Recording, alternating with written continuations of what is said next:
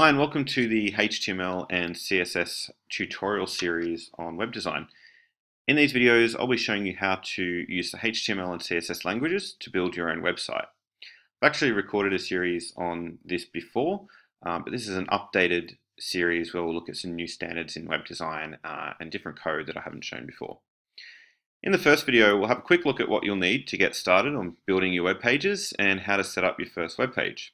So to get started, you'll need a text editor or a code editor to type your code into and save your code. There are several text editors designed for coding that you can use. I'm using Visual Studio Code, not to be confused with Visual Studio. That's a separate program for making desktop and mobile apps. This is Visual Studio Code, uh, designed more for um, using languages for web design. Um, you can use a range of languages in this program uh, and it's free and available on Mac and Windows and doesn't take too long to install. Uh, there's a few different programs that you can use however. So um, this is Visual Studio Code which I'm using. You can download it from code.visualstudio.com. But there's also Atom, uh, which is another free program from atom.io, and there's also Sublime Text as well, um, at sublimetext.com, again for Mac and Windows. So um, lots of other different programs too. Uh, there's uh, Text Wrangler, Brackets, uh, Notepad++, quite a few programs you can use to write your code. Whichever program you use, they're all fairly similar to use and um, to write the same code. We're going to be using the HTML and CSS languages. HTML stands for Hypertext Markup Language, and CSS stands for Cascading Style Sheets. Uh, HTML is the language we use to actually create the content on the page, so to add text, images, headings, uh, things like that. Uh, whereas CSS is used to style the web pages, to create a theme, so change colors, uh, change the layout, add headings, uh, sorry, add uh, columns, animations, um, background colors, things like that. So those two different types of files end in different file extensions. So when we create a HTML file, it ends in .html, and we, when we create a CSS file, that ends in the .css file extension. So um, to start off with, we'll create HTML code, and the first thing we'll need to do is um, save our document as a HTML file. So I'm going to click File and New File to create an empty document and I'll go File, Save As. I'm going to save this in a dedicated folder here. I've got a folder called Website where I'll keep all my code and files for this website. And whatever I name it, it needs to end in .html. But as it's the home page or the first page on the website, I'm going to call it index.html. Now, we can have a number of different pages on this website. We might have an about page that might be about us.html. We might have a contact us page called contact.html, maybe a photo gallery, and that might be called photos.html. But when it comes to the home page, generally it's called index. And that's because when you have a website on a web server and a user types in the address to go to your website, the server is generally going to look first for a file called index and load that file first. So the home page is usually called index. And then we'll just end that in .html as this is going to be a HTML file containing HTML code. Generally as well, uh, don't have any spaces in your file names. Otherwise you'll start running into problems. Okay, so I'll save that in that folder.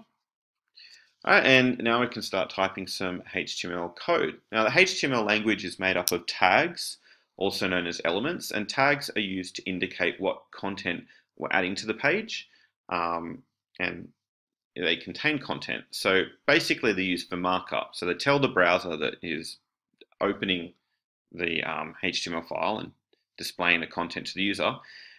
They it, it tells the browser how to display content such as text or images. And tags are used to contain content. Sometimes there are single tags um, just on their own, and sometimes there are uh, two tags with content in between them. First tag I'm going to use is just a single tag, and it's the doc type tag. I'll say doc type HTML, and what this does is it basically tells the web browser that this is a HTML document that will contain HTML code. Um, you don't actually have to put this in, in anymore, really, but um, it's generally just a good idea to have that at the top of your HTML code. Um, then we're going to use a tag called HTML.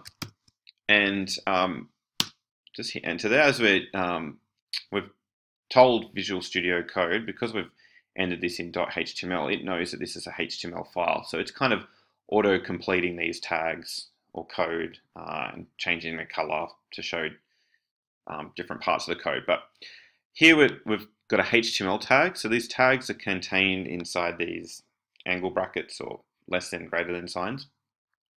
And this is a starting tag. And this is the ending or closing tag, which has a forward slash in it. So this tag is used to say that this is going to be the start of HTML code. And this one says that this is going to be the end of the HTML code. So any code between these two tags is going to be HTML code. It's also a good idea to indent your code so you can easily see the structure of the code. Okay, so in between the HTML code, um, the HTML tags, we can start adding the code for our web page. Now the HTML document is usually, it's actually broken up into two sections, the head section and the body section.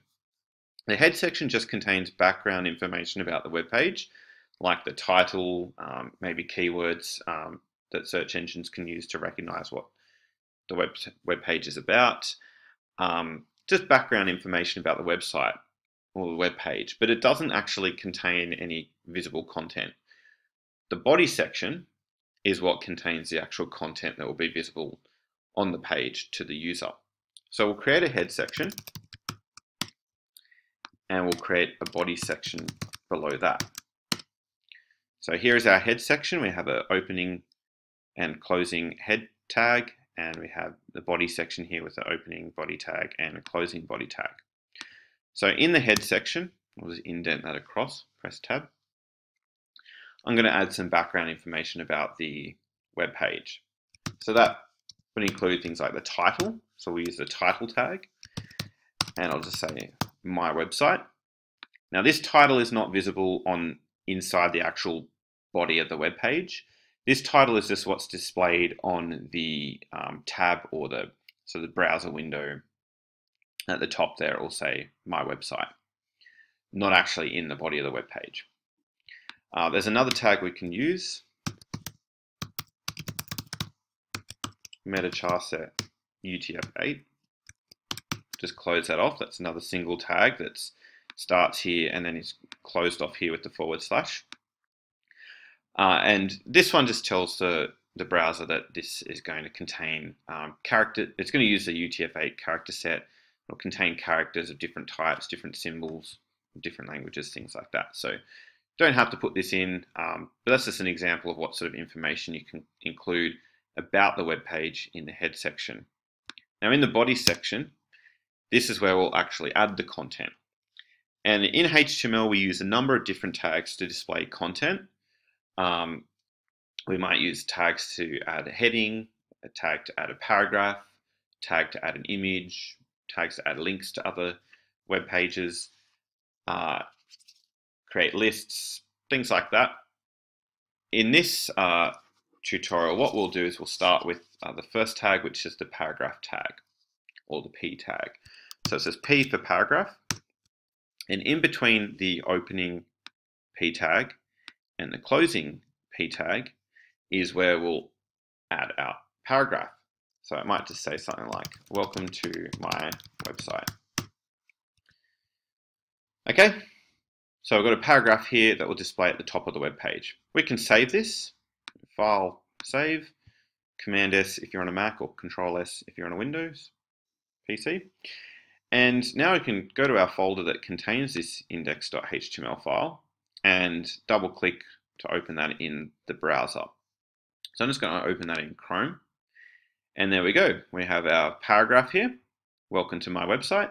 And we also have the title up here, which says my website just on the tab in the browser window. Okay, so um, that's some basic HTML code there to set up our head section, set up our body section and add a paragraph as the first piece of content. In the next tutorial, we'll look at how to add headings uh, and format text. Um, but that's it for now. Thanks for watching and see you in the next one.